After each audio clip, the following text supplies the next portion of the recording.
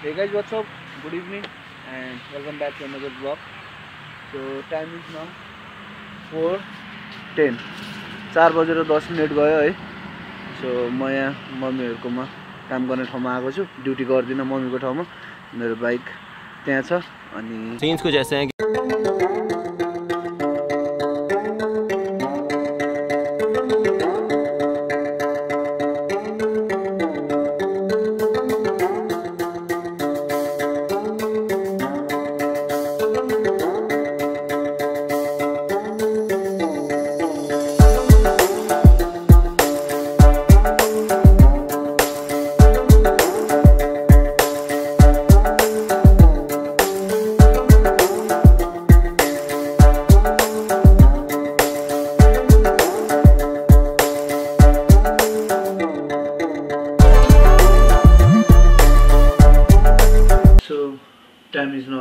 seven PM in the evening है खाना साना खायो अब काम त खासै केही छैन है। मामाको एक दुईवटा भिडियोहरू रहेछ। त्यो निरजलाई पठाइदिनु पर्ने छ एडिट गर्न दिनु है। भान्जाले एडिट गरिदिन्छ भन्नुहुन्थ्यो। सो निरजलाई म पठाइदिन्छु। म पनि एक दुईवटा एडिट गरिदिन्छु है। फिल्मबाट आफै पनि। अनि खासै अब काम त केही छैन। एन्ड आई थिङ्क अब आज गएर चाहिँ मलाई रियलाइज हुँदैछ कि होइन। अस्ति अस्ति भिडियो बनाउँदाखेरि खासै रियलाइज हुन्थेन कि यो कुरा चाहिँ होइन।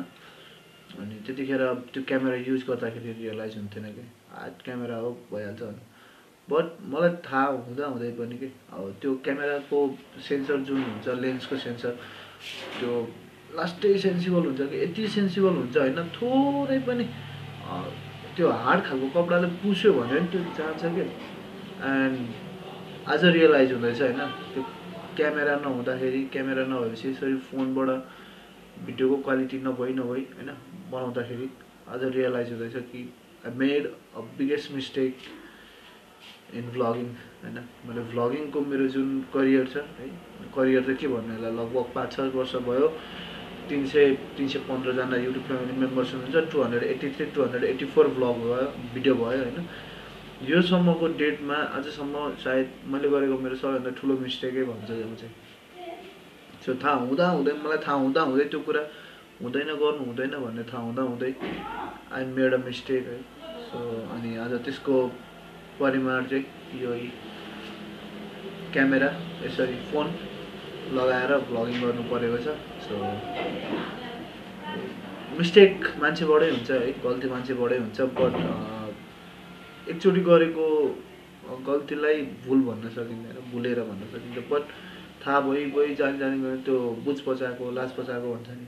हो म त्यही खालको भएको छु अब त तँलाई अब त तँलाई रिग्रेट आउने बित्तिकै मुटु चिस। अन्त रक्सी खाएको जस्तो फुल्लेर मोटो हुँदै होला होइन? म आफैले आफूले त्यही हुन्छ आई फिल रिग्रेट के नाउ? होइन मलाई थाहा थियो त्यो क्यामेरा त्यस्तो छ त्यो हुँदैन भन्ने कुरा। बट मैले अब मोटो भ्लगिङको लागि भनेर त्यसरी मैले लगाएँ। सो अब मोटो भ्लगिङ पनि बन्द भयो। भ्लगिङ पनि बन्द भयो। भ्लगिङ त बन्द हुँदैन म क्यामेराबाट फोनबाटै भए पनि गर्छु। बट एउटा जुन रिग्रेटमेन्ट हुन्छ नि हो त्यो भयो क्या एन्ड तर एउटा भनाइ पनि छ नि होइन टेकिङ रिक्स today is more better than feeling regret tomorrow भन्छ नि। सो मैले जुन त्यो रिक्स लिएको थिएँ नि हो त्यसले गर्दा चाहिँ म रिग्रेट त्यस्तो साह्रो फिल गर्दिनँ है। अब फिल पनि गर्छु त्यो गर्दिनँ पनि दुइटै छ क्या हो?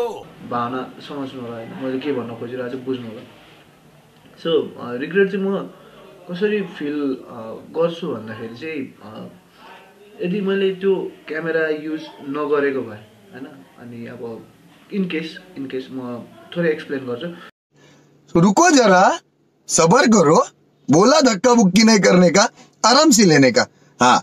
इनकेस मेरो च्यानल ग्रो भएको भए र मसँग त्यही क्यामेरा भएको भए त्यो क्यामेराको कारणले मेरो च्यानल ग्रो भएको भए होइन?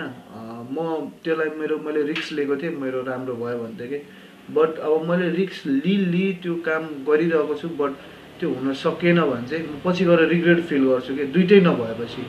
होइन? अब यता भ्लगिङ पनि भएन युट्युबमा पनि राम्रो भएन अनि त लेन्स पनि गयो भने चाहिँ त्यतिखेर चाहिँ म रिग्रेट फिल गर्छु कि होइन मैले रिक्स लिएको थिएँ भने बट मैले त्यो रिक्स पनि लिनँ लेन्सको रिक्स पनि लिनँ मैले यता भ्लगिङ पनि फोकटेमा जे पाएँ त्यही बनाएँ भ्लग पनि मजाले चलेन भने चाहिँ अनि त्यतिखेर चाहिँ म रिग्रेट लिन्छु कि होइन। ला मैले त्यतिखेर कास मैले यो क्यामेरा यसरी युज गरेको भए आज यस्तो हुन्थेन भन्ने कुरा चाहिँ रिग्रेट फिल त्यतिखेर हुन्छ अरे सो म चाहिँ के भन्छु भन्दाखेरि टेकिङ रिक्स today is better than feeling regret tomorrow भोलि गएर रिग्रेट हुनुभन्दा आजै रिक्स लिनु राम्रो हुन्छ कि। जे हुन्छ हुन्छ। होइन भयो भने राम्रो हुन्छ भएन भने एउटा न एउटा केही हुन्छ। बट अब मैले गर्न पाइनँ मैले यस्तो गर्न पाइनँ त्यस्तो पाइनँ भनेर भोलि गएर रिग्रेट फिल गर्नुभन्दा अझै रिक्स लिनु राम्रो। सो खासै धेरै भन्नु त केही छैन होइन? अब फाइलहरू पठाइदिनु पऱ्यो भनेको यो वाट्सएपबाट किन किन डकुमेन्टहरू जान मानिराखेन क्या आज? अनि अघि लगभग बाह्र तेह्रवटा भिडियो छ होइन मामाको? जानै मानिरहेको छैन। अनि मामाको भिडियोहरू म एडिट गरेर मामालाई पठाइदिन्छु। मामाले इन्स्टाग्राम त चलाउनु हुँदैन। टिकटकको लागि टिकटकको लागि बनाउन लाउनु भएको सो मामाको टिकटक आइडी म राखिदिन्छु तल डिस्क्रिप्सनमा त्यहाँ गएर मामालाई फलो गर्नु होला है। मामाले राम्रो राम्रो कन्टेन्टहरू बनाउनुहुन्छ। सो ला मेरो फोन कनेक्टै भएर हिँड्दो रहेछ यार। ए मैले वाइफ अफ गरेँ नि। सो म दुईवटा यहाँ फाइल पठाउँछु है। मेरो यो फोनबाट मैले यता सिङ्क्रोनाइज गर्नुपर्ने हुन्छ। सो मामाको फोटोहरू भिडियोहरू पठाइदिएँ है।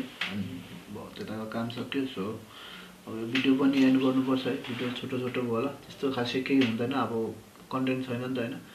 अनि मेरो क्यामेरा भएको भए मैले एक दुईवटा कन्टेन्टहरू पाएको थिएँ अब यही फोनबाटै बनाउँदा नि हुन्थ्यो बट अब फोनमा स्टोरेज पनि छैन कि। मेन कुरो त अब त्यस्तो लगभग कति ल two hundred three hundred MB मात्रै छ। त्यही भएर म भिडियो पनि छोटो छोटो बनाउँदैछु होइन। सो ट्रान्सफर गर्दै राख्दै ट्रान्सफर गर्दै राख्दै गर्दैछु। सो क्यामेरा भयो भने चाहिँ एक दुईवटा कन्टेन्टहरू राम्रो खालको थियो। मामासँग नि कुरा गरेको थिएँ मैले। सो मामाको ठुलो क्यामेरा छ बट अब त्यस्तो धेरै उयो गर्नु पाइँदैन कि। त्यो क्यामेरा अब अफिसको क्यामेरा हो होइन। युज गर्न पाइँदैन। सो आई होप तपाईँहरूलाई भिडियो मन पऱ्यो होला है। भिडियो त खासै केही त छैन त्यस्तो त्यही पनि भिडियो मन पऱ्यो होला। भिडियो मन पऱ्यो भने भिडियो लाइक गरिदिनु होला। च्यानलमा नयाँ हुनुहुन्छ च्यानल सब्सक्राइब गर्नु भएको छैन भने च्यानल सब्सक्राइब गरिदिनु होला। Signing off Sisil see guys in the next vlog till then keep loving keep supporting bye